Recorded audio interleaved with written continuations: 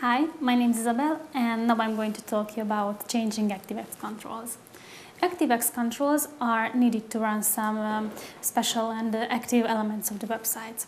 Uh, with the help of these changes of these controls, you can uh, select and set the level of permission for these active elements. In the Start menu, we select Control Panel and open it.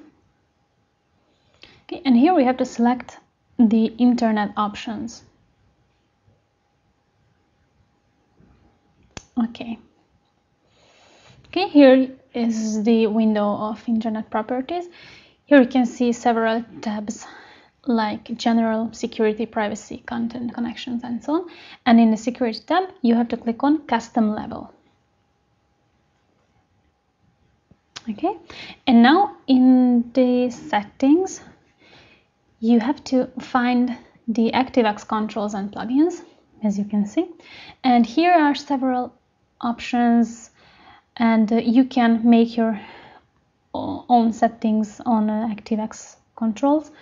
Like you can allow scriptlets or automatic prompting for ActiveX controls, binary and scripting behaviors, display video and animation on web page, then download signed ActiveX controls or download unsigned ActiveX controls, then um, initialize and script ActiveX controls not marked as safe for scripting, and so on. So you have a, a lot of security settings that you can um, set for your own self.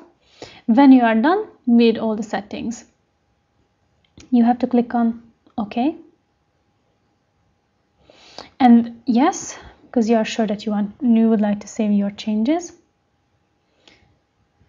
And here you have to click on OK when you are ready.